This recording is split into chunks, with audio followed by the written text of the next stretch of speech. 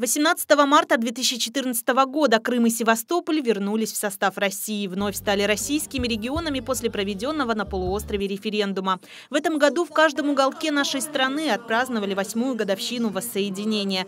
Крымская весна пришла и в Щелково. Здесь дату отметили масштабно. Более тысячи щелковцев собрались в центре города. Их поприветствовал глава округа Андрей Булгаков. Сегодня большой праздник для всех, кто считает себя патриотом. Для тех, кто живет в Крыму, это более двух миллионов наших соотечественников.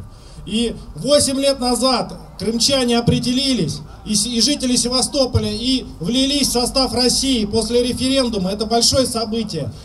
День воссоединения – поистине историческое событие, ставшее началом больших перемен. Восемь лет назад началась Крымская весна, а сегодня свою весну – восстановление исторической справедливости ждут Донецкая и Луганская народные республики. Глава округа Андрей Булгаков встретился с беженцами с Донбасса, которые сегодня находятся у родственников и друзей в Щелкове. Нас очень многие организации поддержали. Это соцзащита.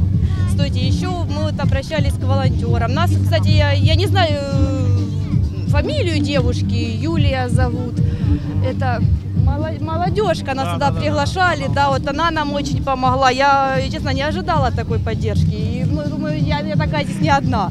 Нас вот, деток пригласили в театр, они вот, ну, видите, они в восторге. Ну, сейчас надо чем еще помочь? Медицина, мы можем обратиться в вашу поликлинику? Да. Если какие-то у вас сложности. Да, да. И нас примут? Сопроводить в ручном режиме каждую проблему с точки зрения медицины. Это все организуем. Своих не бросаем. В день годовщины воссоединения Крыма и Севастополя с Россией на площади Ленина собрались щелковцы, жители разных возрастов, представители общественных и молодежных организаций, муниципальных учреждений, Единой России и других политических партий. Активисты приняли участие в масштабном флешмобе, образовав буквы РКД – Россия, Крым, Донбасс, а также Z, которая используется нашими в ходе спецоперации по защите Донбасса. Центр города украсили выпустили цвета триколора. В это же время стартовал автопробег. В этот день все объединились и показали Щелково за наших. Громче, громче! Приветствуем! И этот праздник объединяет всех людей. Дай Бог, чтобы всегда все было так всегда. Прям мы так довольны, так рады и хотим, чтобы мир был.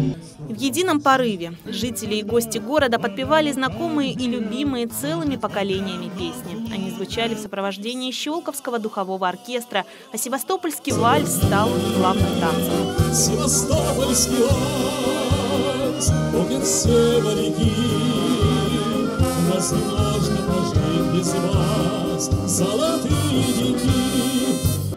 Концертная программа была насыщена на душевные и проникновенные музыкальные композиции, выступления молодежных коллективов. Также в этот день на площади Ленина работали интерактивные зоны, аквагримы, мастер-классы. Вот так ярко и масштабно. В единении и сплоченности Щелково встретила крымскую весну. Анна Балиет, Александр Аржевский, Сергей Васильевский, Игорь Поляков, Сергей Максимов, Андрей Белкин, Щелковское телевидение.